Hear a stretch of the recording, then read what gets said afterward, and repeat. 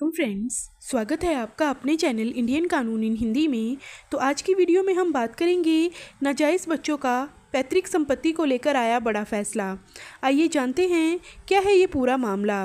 ये केस है रेनप्पा सिदप्पा वर्सेस मल्लिका अर्जुन केस, जो कि इलीगल मैरिज से जो बच्चे पैदा होंगे, उनकी पैतृक संपत्ति पे क्या राइट्स हैं, उनको डिफ़ाइन करता है।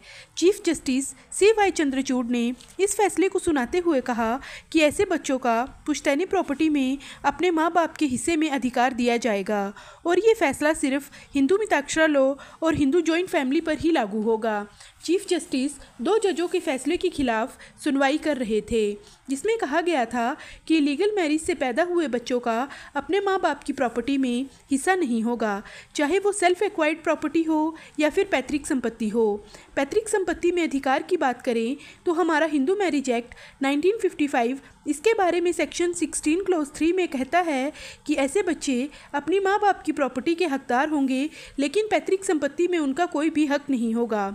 इस केस में मुद्दा ये था कि हिंदू मिताक्षरा कानून के अंदर जो कि हिंदू अनडिवाइडेड फैमिली है, उसमें प्रॉपर्टी को माँ बाप की प्रॉपर्टी कब माना जाएगा?